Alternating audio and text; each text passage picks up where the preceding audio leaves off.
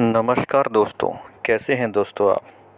दोस्तों, मेरे पास काफ़ी बार सवाल आया है, लोडर की जॉब क्या होती है, कैसे होती है, पोर्टर किसे कहते हैं, क्लीनर का क्या काम होता है, हैंडीमैन वगैरह, और ये छोटे मोटे काम जो होते हैं, किस तरीके से होते हैं, क्या सैलरी होती है इनकी, कितने घंटे का ड्यूटी टाइमिंग होता है तो दोस्तों, इन पोस्टों से रिलेटेड आज मैं यह वीडियो बना रहा हूँ और इसमें आपको मैं पूरी जानकारी दूँगा कि एक लोडर, हैंडीमैन, क्लीनर और जो भी ये छोटी जॉब्स हैं, इनमें क्या सैलरी होती है, कितने घंटे की ड्यूटी होती है क्या क्या इन्हें काम करना पड़ता है। तो चलिए दोस्तों, आगे बढ़ते हैं वीडियो में। तो दोस्तों, सबसे पहले बात करते हैं पोर्टर के बारे में।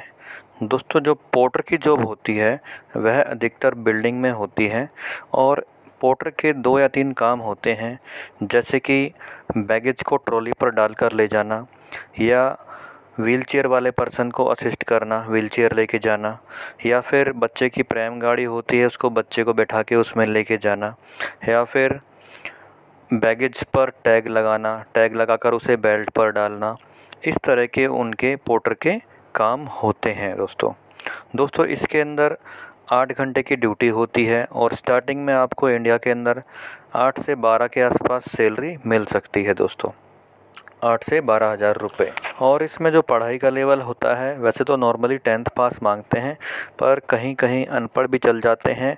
बाकी आठवीं से लेकर बारहवीं तक की पढ़ाई वाले लोग ये जॉब कर सकते हैं, उन्हें आराम से ये जॉब मिल जाती है। इस जॉब में दोस्तों आपको शारीरिक तौर पर मज़बूत होना चाहिए व फिट होना चाहिए।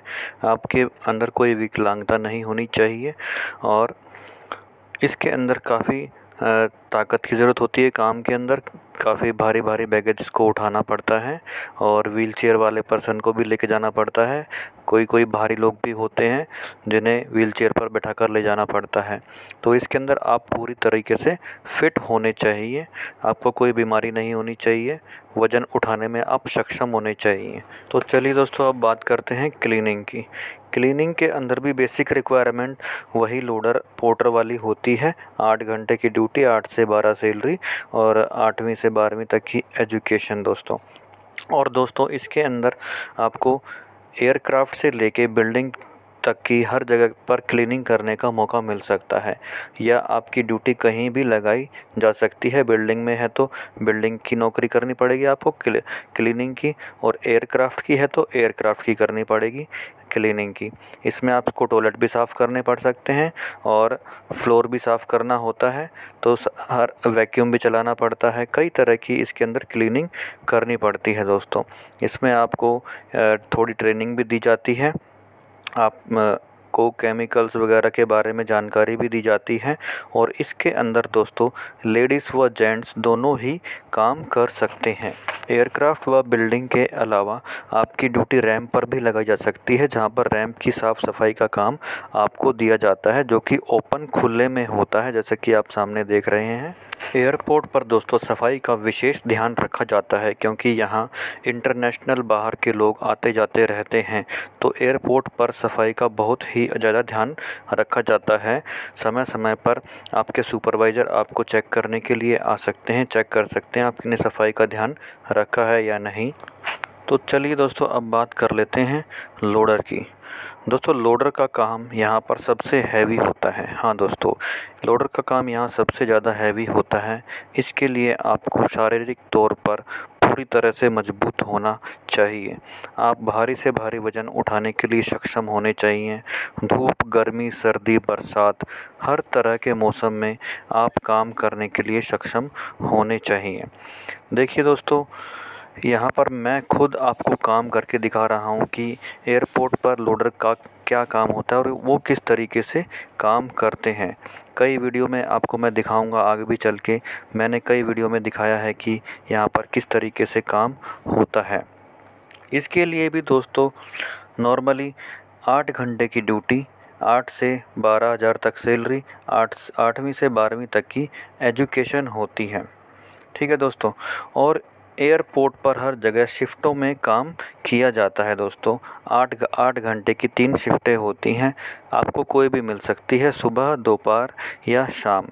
और इन लोडर पोटर क्लीनर, हैंडीमैन किसी भी जॉब के अंदर एज ज़्यादा मैटर नहीं करती। एयरपोर्ट पर 18 साल के बाद किसी भी उम्र में जॉब मिल जाती है। अधिकतर 40 तक में तो आराम से लोग यहाँ पे काम कर लेते हैं।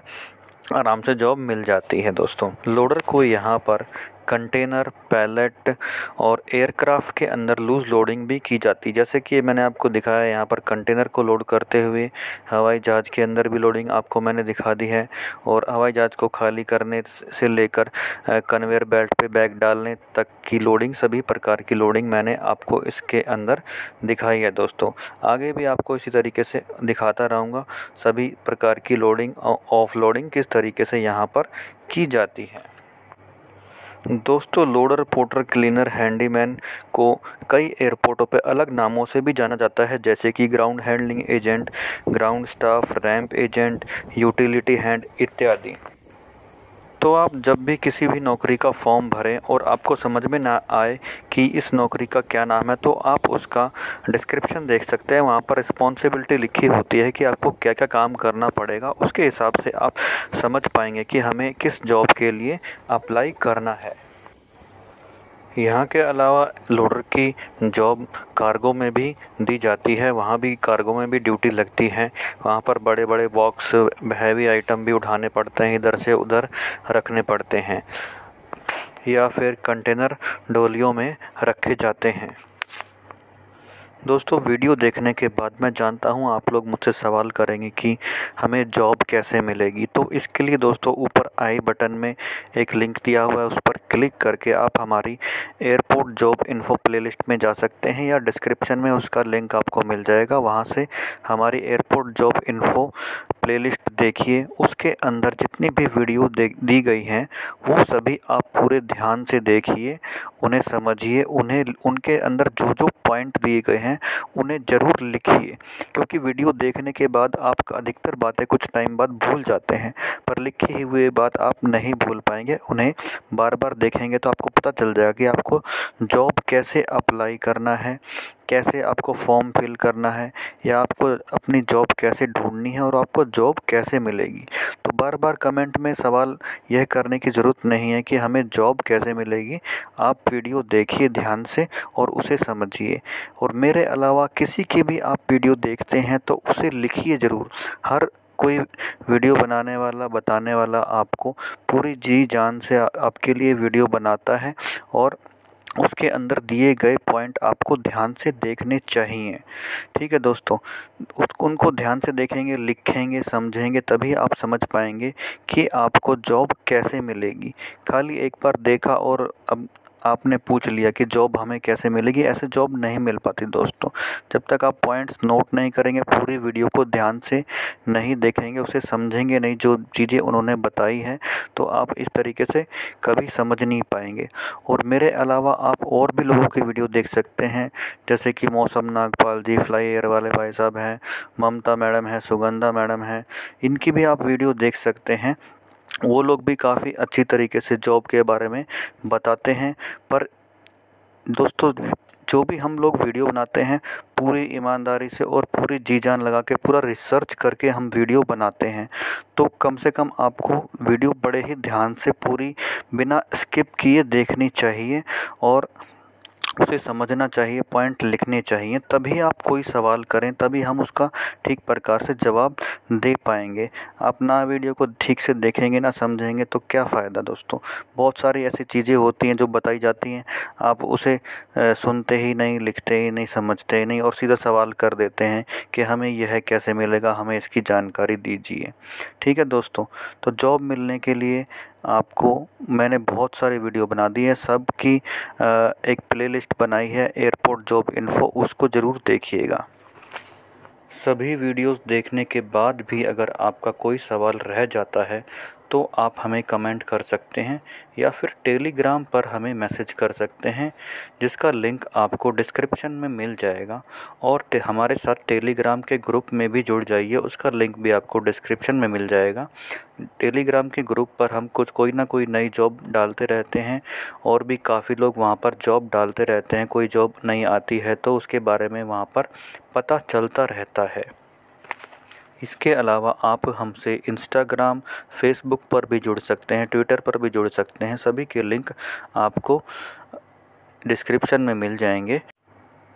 तो दोस्तों, वीडियो अगर आपको पसंद आई हो तो हमारे चैनल को ज़रूर सब्सक्राइब कर लीजिए और वीडियो को लाइक व शेयर करना बिल्कुल भी मत भूलिएगा। और अपने दोस्तों को भी इसकी जानकारी ज़रूर दीजिएगा। और हमारे साथ जुड़े रहने के लिए आपका बहुत बहुत धन्यवाद।